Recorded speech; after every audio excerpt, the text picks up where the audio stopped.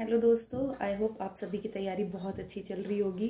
तो आज हम बात करेंगे बहुत ही इम्पोर्टेंट टॉपिक पर कंप्यूटर जैसा कि आप लोगों को पता है कि अब मेंस में कंप्यूटर भी आएगा और ये क्वालिफाइंग है नेचर में। मतलब इसके मार्क्स नहीं जुड़ेंगे, आपको ये बस क्वालिफाई करना रहेगा। लेकिन कई बार क्या होता है, हम लोग कंप्यूटर्स बहुत अच्छे से चला लेते हैं लैपटॉप्स वगैरह। तो हम सोचते हैं कि यार क्या है इजी होगा क्वालिफाई तो करना है। पाँच सात क्वेश्चन ठीक हो जाएँगे, आराम से क्वालिफाई हो जाएगा। ऐसा कुछ भी नहीं है, क्योंकि कंप्यूटर की प्रैक्टिकल नॉलेज होने में और थियोरिटिकल नॉलेज होने में बहुत फ़र्क है। वहाँ पर आपको कुछ टर्मिनोलॉजीज़ याद करनी होंगी, कुछ नाम रटने होंगे, कुछ वैल्यूज़ याद करनी होंगी। तो ये थ्योरी तो आपको पढ़नी ही पड़ेगी। क्वालिफाई करने के लिए भी। देखिए, आपने मार्क्स बहुत अच्छा स्कोर कर लिया। 390 में से आप 360 कर रहे 350 कर रहे। कंप्यूटर में अटक गए तो दिक्कत हो जाएगी। तो ये बहुत ही ज़्यादा ध्यान देने वाली बात है। तो फिर मैंने इधर उधर देखा तो सभी लोगों ने एक ही बुक सजेस्ट की।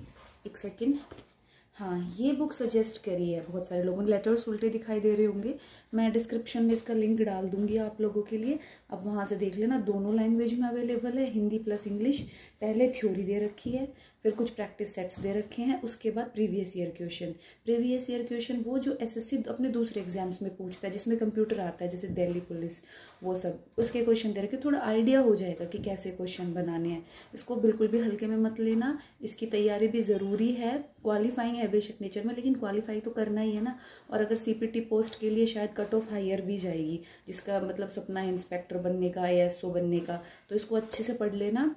और बाकी अगर इससे थ्योरी समझ में ना आए तो यूट्यूब पे काफ़ी टीचर्स ने अच्छा कंटेंट डाला है। राधिका मैम पढ़ा रही हैं यूट्यूब पे, उनकी पाँच से छः वीडियो हैं। अच्छा पढ़ा रही हैं, मैंने उन्हीं को ही फॉलो करना स्टार्ट करा है अपने कंप्यूटर के लिए। ठीक है दोस्तों? और ऐसे ही पढ़ते रहो, मेहनत करते रहो। बाकी कोई अच्छा किसी के पास सजेशन है, कोई अच्छा कोई कहीं से सोर्स है पढ़ने का तो कमेंट बॉक्स में कमेंट कर दे। और अगर पहली बार, दूसरी बार, जितनी बार भी अगर चैनल को विज़िट कर रहे हो और सब्सक्राइब नहीं किया है तो सब्सक्राइब कर दो और वीडियो को लाइक कर दो। मिलते हैं अगली वीडियो में। तब तक पढ़ते रहो।